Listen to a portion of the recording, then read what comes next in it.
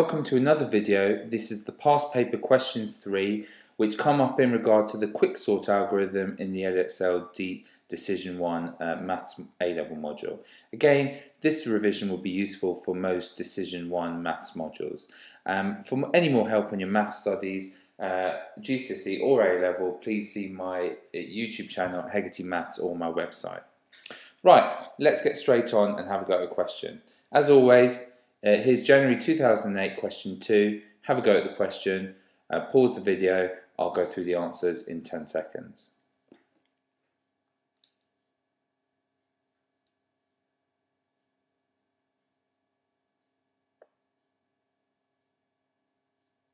Okay, right, let's go through this. First thing I'm going to do is I'm going to write down the numbers. So they're 18, 20, 11, 7, 17, 15, 14, 21, 23, 16 and 9 and I'm also going to leave myself a column here which I'm going to call pivot. Okay, now the reason I'm doing that is it's asking us to put them in ascending order, quick sort, make your pivots very clear. So we are going ascending, so we're going from small to big, and here's my pivot column to make it very clear. Right, I've got 1, 2, 3, 4, 5, 6, 7, 8, 9, 10, 11 numbers, so the middle is going to happen at 6. 1, 2, 3, 4, 5, and 6 here. Okay, so my pivot is 15. Right, I want to write any number smaller than 15 that comes up. So 11 is, 7 is, 14 is, uh, 21's not, 16's not, and 9 is. Then I write down my pivot number, which is 15. Okay, then I write anything that was bigger, namely the 18, the 20, the 17, 21, the 23, and the 16. Now I decide on new pivots. I've got a sub list of four here. The pivot's going to be in the middle, which is going to be the third number. So it's going to be a 14. I've got a sub list of uh, six here. The middle is going to happen on the fourth number, which is 21. Okay, out of these four, I'm going to write down anything that's smaller than 14. So that's 11, 7, and the 9. Then I'm going to write my 14 down, write my 15 that was pivoted, out of these six, write anything smaller than 21. So that's the 18, the 20, the 17, and the 16. Then write my 21, and then write anything bigger, which was 23. Now I'm going to decide on my pivots. I've got a sub list of three, pivot on the second, which is the 7. I've got a sub list here of 4, pivot on the third, which is 17. And I've got a sole number here, so pivot on that, 23. Okay, now out of these three here, I'm going to write down anything smaller than 7. There isn't anything, so then write your 7 and write the other two as they come up, 11 and 9. Write your 14 down, write your 15 down, and you're pivoting on the 17. So you've got four numbers here. Out of those four, write down anything smaller than 17, which is just 16. Then write your pivot number 17, and the 18 and the 20. 21 and 23 were already pivoted. Okay, a sublist of 2, pivot on the second number which is a 9, sublist of 1, pivot on the 16, okay, and a sublist of 2, so pivot on the 20. Okay, and then I'm going to write down my 7, write down anything smaller than 9, there isn't anything, so then write your 9, then your 11, and your 14 and 15, 16 and 17 that were already pivoted. Write down anything at these two smaller than the 20, there isn't anything, so write your 18, then your 20, your 21, and your 23 that were already pivoted. And you've got two numbers left over, the 11 and the 18, which are the last pivots. So lastly, you've got 7, 9, 11, 14, 15, 16, 17, 18, 20, 21, and 23 and you've got yourself five easy marks on a decision maths paper. Okay, take a look at the next question. This is Edexcel D1, January 2009, 5 marks. Pause the video, in 10 seconds I'll go through.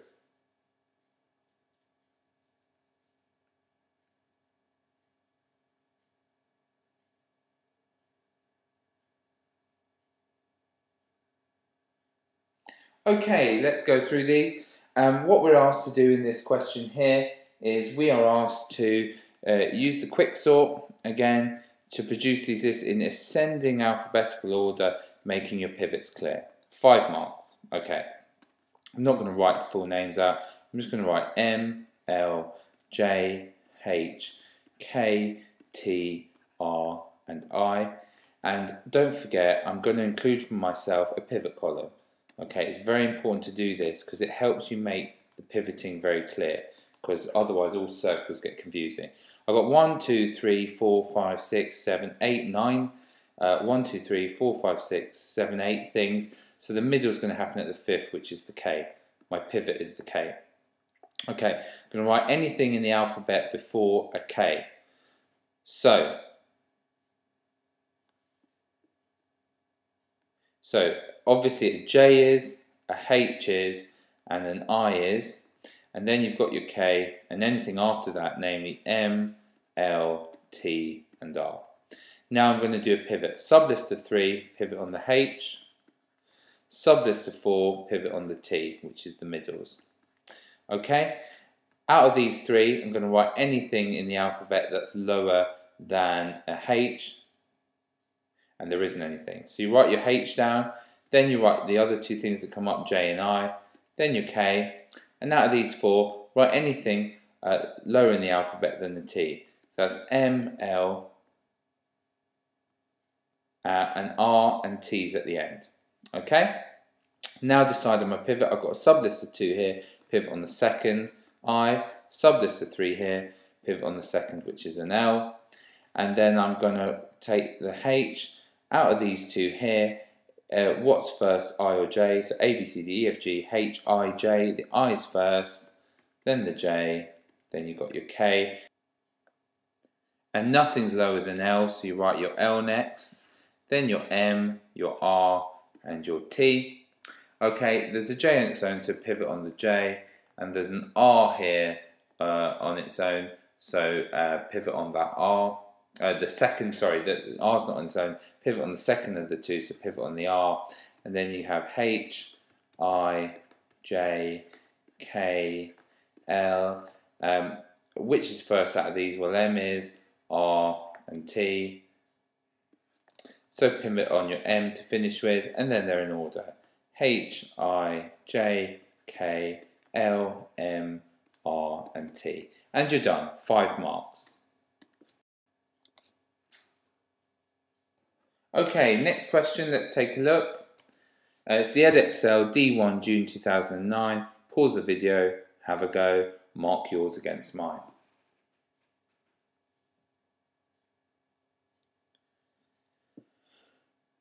Okay, um, again, we're using the quick sort and we're putting in alphabetical order. I'm not going to write them out fully. I'm just going to write M, J, E, K, H, B, L, P, N, and D. And I'm going to have myself a pivot column. Okay, just to make it very clear what my pivots are. I always like doing that. Okay. First things first, I've got 1, 2, 3, 4, 5, 6, 7, 8, 9, 10 items. So the middle is going to come at the 6. 1, 2, 3, 4, 5, 6. So a B. So my first pivot, pivot is B.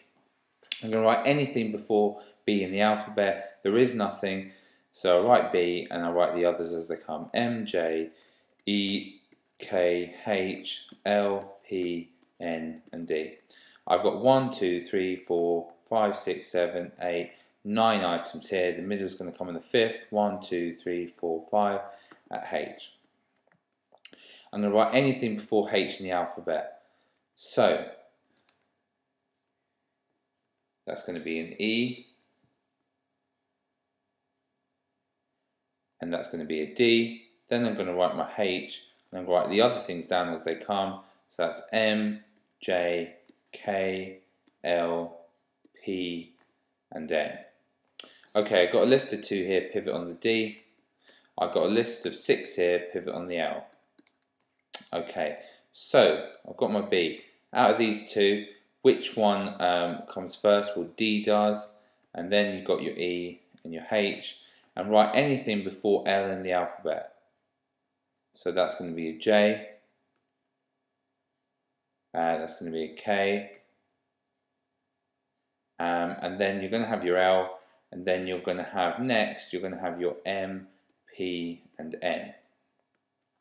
Now pivot on the solo E here, out of these two, pivot on the K, and out of these three, pivot on the P. Okay, so you're going to have your B, D, E, and H. Uh, out of J and K, uh, J comes first, so you've got your J, K, and L. And out of these, does anything come before P? Or M and N come before P? Okay, so you're going to pivot solely on the J and the N. So you're going to have a B, D, E, H, J, K, L. And what comes first, M or N? What M does. And then lastly, you're going to pivot on the M that's left over. And you have them in order then B, D, E, H, J, K, L, M, N, and P. And you're done. A nice, uh, easy five marks for June 2009.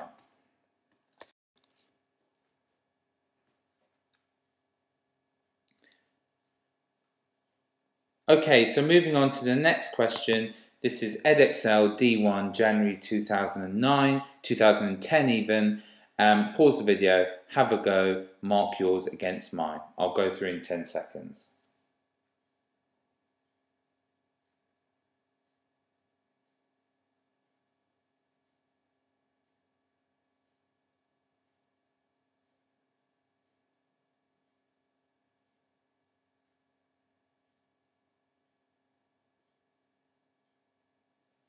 Okay then, um, let's go through these. Uh, again, what we're doing here is we are carrying out a quick sort to produce a list of lengths in descending order. You should identify your pivots clearly. Okay, so if we're going in descending, that means we're going from big to small. Let's write the numbers out. 0.6, 4.0, 2.5, 3.2, 0.5, 2.6, 0.4, 0.3, 4.0 and 1.0 and we're going to have ourselves a pivot column as well. Okay, that we're going to keep separate uh, to identify our pivots so we get full marks in that part of the exam. Okay, right. Here we go. First thing, how many numbers we got? 1, 2, 3, 4, 5, 6, 7, 8, 9, 10. 10. Okay, the middle must happen at the 6. So we're going to pivot 1, 2, 3, 4, 5, 6, 2.6. Okay, I'm going to write anything that's bigger than 2.6. Right, 4.0 is, uh, 3.2 is, 4.0 is, and that's it. Then you write your 2.6, which was your pivot, then all the things that were less, 0.6, 2.5, 0.5, 0.4, 0.3, and 1.0. The First thing you pivoted on, just to make clear, was 2.6. Now you've got a sublist of 3. Pivot on the 3.2, the middle number. Pivot out of these, you've got six numbers, so pivot on the fourth, which is 0.4. Okay, write down anything bigger than 0, uh, 3.2. So that's going to be the 4.0, the 4.0, then you write your 3.2 down. Okay, write your 2.6 that was pivoted on. Out of these three, uh, sorry, out of these numbers here, you're pivoting with the 0.4. Um, write down anything that's bigger than 0.4. So that's 0.6, that's 2.5, that's 0.5, that's 1.0. Then you write your 0.4, then your 0.3, the number that's less. Okay? Then what you're going to do, you've got two numbers here, pivot on the 4.0, and out of these four numbers, pivot on this one, the middle, which is 0.5, and pivot on the 0.3, which is on its own. Okay, and then write down anything uh, bigger than 4.0. Well, this one's the same, so just write it down.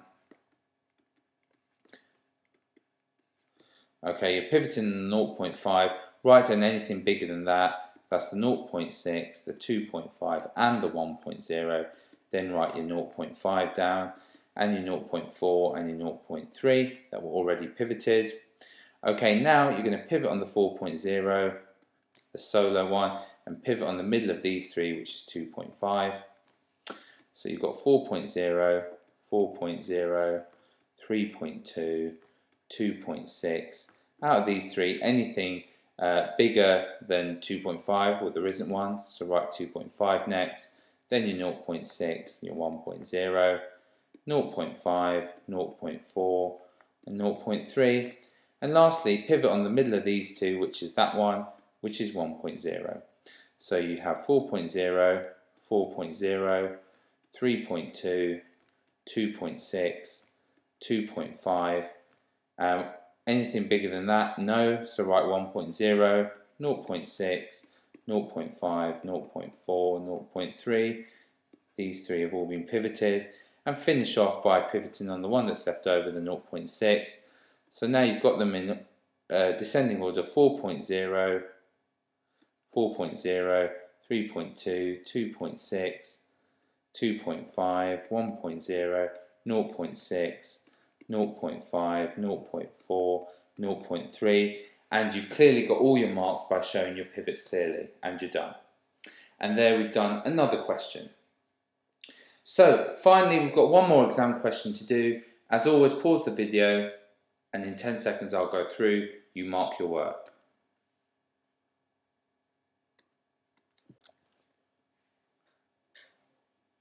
And let's go through this then.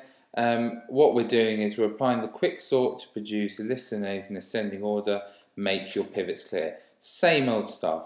I'm going to write uh, the list down H, V, L, A, N, J, S, T, and P, and I'm going to have a pivot column as well, just to absolutely make it clear to the examiner of what my pivots are so there's no questions asked um, at all. Right, okay, I've got one, two, three, four, five, six, seven, eight, nine. The pivot's going to happen on the middle one, which is the fifth. One, two, three, four, five, here. Write down anything lower than N on the alphabet. So that's going to be H, L, A, J, and that's it. And then you write your N, and then you write your V, which is above it, then you're going to write your S, T, and P. Okay, and you pivoted on N. Don't forget to write in to the exam what we did. You've got a list of four. Pivot on the middle, which is A. Got a list of four. Pivot on the middle, which is a T. Okay, write down anything which is lower in the alphabet than A. There's nothing. So A comes first. Then you write your others as they come.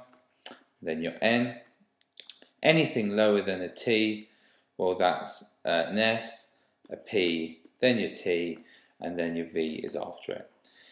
Okay, now what you're going to pivot on? Well, there's three here, so pivot on the L. There's two here, so pivot on the P. And there's the V here, pivot on that on its own.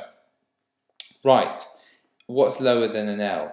Well, a J certainly is, and a H is, so write your H and your J, then your L's there, your N's there, and uh, your S and your P, which is lower, well P is, and then S, and T, and V.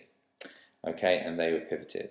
Now out of these two, pivot on your J, out of this sole one, pivot on your S, and you're done.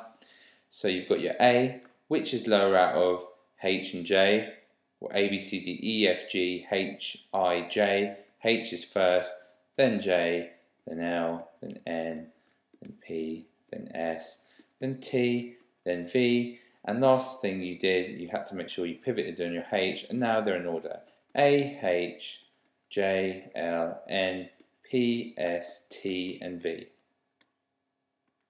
And therefore, that is the uh, final answer to the June 2010 uh, past paper, and they are all the past paper questions that have come up between Jan 2007 and January 2012. I hope you found the following useful in your revision for D1 um, tune in for the next set of videos. Thank you for watching.